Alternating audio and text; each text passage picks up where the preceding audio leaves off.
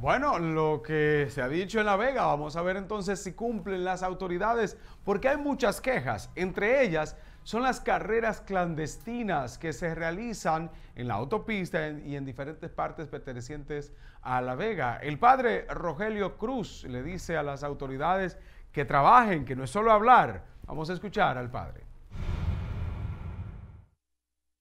Yo creo que el llamado es correcto, es bueno y es aplaudible. Yo creo que sí. Pero ellos como autoridades tienen que, además de sugerir a los padres, que presentar algún plan, un proyecto para esos jóvenes. Porque esos jóvenes generalmente eh, es gente que viene, lo sabemos, de, los barrios, de allá adentro de los barrios. Eh, la mayor parte de las veces no tienen ningún tipo de entretenimiento.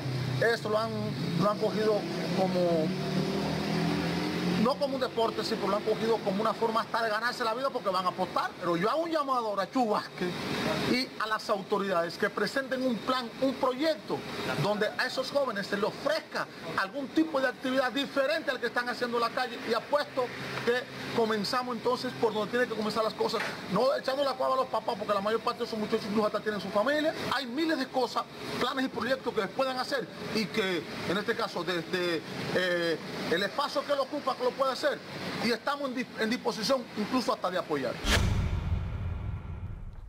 Bien, nos vamos a los Alcarrizos. Allí piden ayuda a las autoridades. Dicen que han tenido muchos problemas, entre ellos con las tormentas que han pasado en estos últimos, en estos últimos días. Ellos piden que ya se acerquen porque no han recibido ayuda de nadie. Veamos. Bueno, nosotros lo que le exigimos a las autoridades es que nos ayuden con ese puente. Después, si nos quieren ayudar con algo más, que nos ayuden, pero lo primordialmente que queremos que no hagan ese puente de ahí.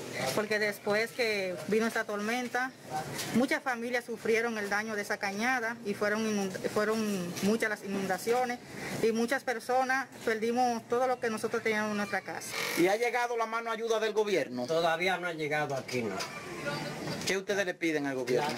Nosotros lo que le pedimos es ese puente. No, aún no hemos recibido nada. Nada, nada. Los vecinos fue que la noche de la tragedia del... Nos trajeron un colchón para que no amaneciéramos en el piso. Hay muchas personas, muchas familias afectadas, muchas familias que se han quedado sin nada, que hemos perdido todo. Necesitamos de su ayuda. Aquí estamos como Dios nos ha ayudado, secando, lavando y secando las cositas que, que tenemos porque no hemos recibido ninguna ayuda hasta ahora. Que le lleguen esas raciones porque no han llegado a las manos que tenían que llegar. Las raciones llegaron para los damnificados, no para enviarlo a zonas donde todavía, donde no hay personas, donde las personas todavía no sufrieron ningún daño dentro de esa tormenta. Las manos que tienen esas ayudas, por favor, siéntense con nosotros y vamos a distribuirla en esos barrios que fueron tan afectados, como Barrio Canaán, reitero, Barrio El Progreso, Arroyo Lebrón, Ato Nuevo.